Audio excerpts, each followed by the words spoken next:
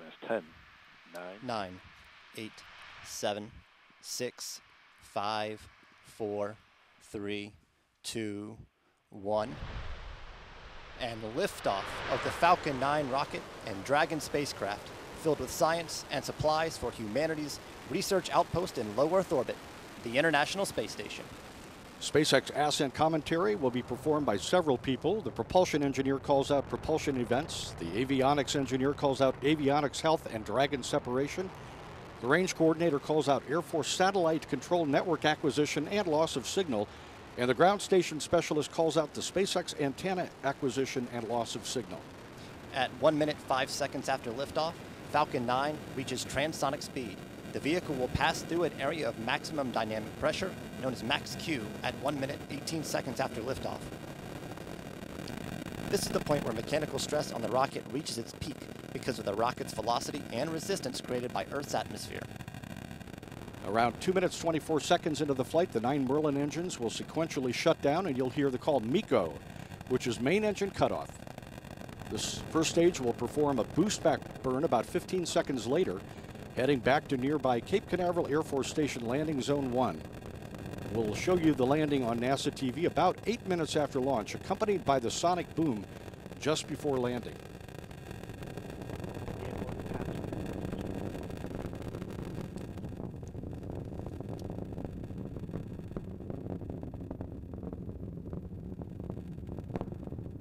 MVAC engine chill started.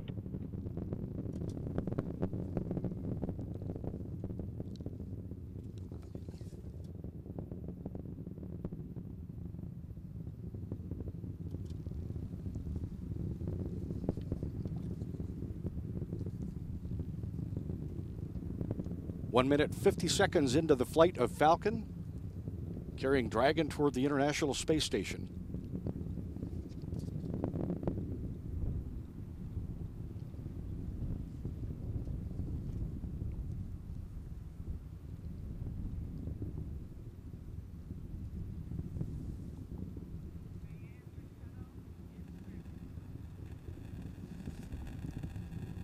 Standing by for main engine cutoff. We have MECO. And we have MECO, main engine cutoff. All nine Falcon 9 engines have Stage shut down as planned. confirmed. And the first and second stages have separated as planned. Second, seven Respect seconds after separation, the Yeah, that second vacuum, yeah. stage's single Merlin vacuum engine ignites to begin a six and a half minute burn that brings Dragon into low Earth orbit. The engines produce 210,000 pounds of thrust.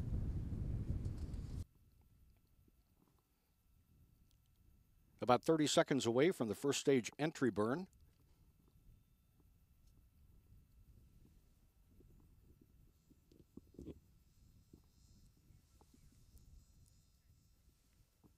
Stage 1 entry burn startup. And stage one entry burn is underway. It's a burn of about 10 seconds.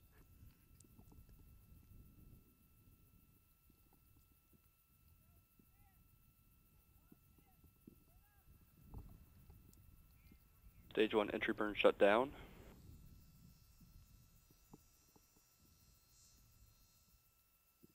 Falcon 9 first stage headed back toward Cape Canaveral Air Force Station, where it launched 6 minutes 37 seconds ago. Stage 2 performance nominal. Everything going well with stage 2 carrying Dragon to the Stage 1 AFTS has safed. International Space Station.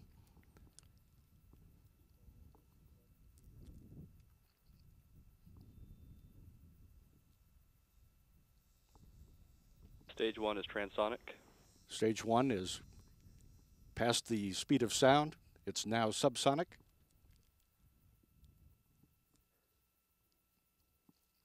Landing burn startup. Landing burn underway. First stage landing legs will be deployed shortly.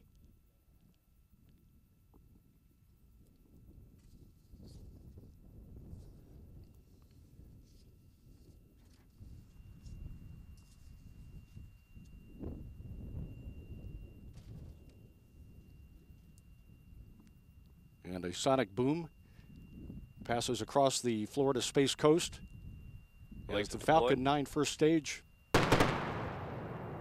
makes a pinpoint landing back at landing zone one at Cape Canaveral Air Force Station. LZ1, the F9 has landed. Uh, landing operators proceed to procedure 11.100, section 3 on LZ1 net. Meanwhile, in space, stage two of the Falcon 9 continues to carry the Dragon spacecraft. And Dragon is making its way away from the uh, Falcon 9 second stage with the Earth limb in the background, headed toward its uh, destiny and a rendezvous with the International Space Station on Sunday.